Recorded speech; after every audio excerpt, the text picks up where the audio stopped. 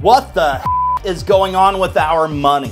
Are you feeling overwhelmed or even flat out broke right now? It's hard to make ends meet. You're not alone. I'm Tony Fitzgerald, the Mortgage Jedi. Watch for my next 10 videos in the What the Heck is Going On with Our Money series. We'll get to the bottom of some of the most important financial topics in a way that's easy to understand and actionable. Things like exploring why mortgage rates skyrocketed from 2.5% to nearly 8% and what that means for you.